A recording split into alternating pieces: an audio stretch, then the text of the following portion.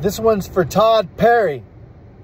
On my way home from school, taught my first junior high school class today. Was not hard at all, very easy. I had to get stiff with a couple, but uh, did not send any to the office. One got smart with me and I said, don't match wits with me, Junior. Uh, other than that, it was a good day. Um, I want to tell you about an experience I had recently. Uh, I found the one cowboy bar that I could possibly find in the area. I've been listening to a lot of country music, but you know, as much as I love this, you know, the the beer stomping, uh, you know, fight, uh, tobacco spitting old country.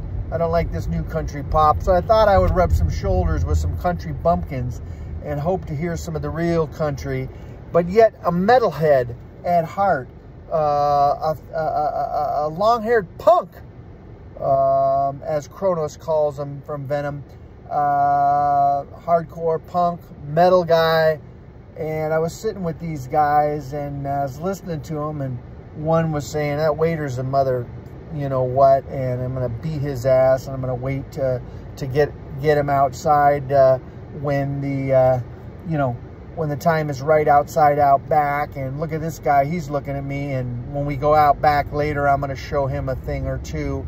And he looked at me and said you know what I mean? And I looked at him and the thrash and the metal came up. And he said you know what I mean partner? And I said violence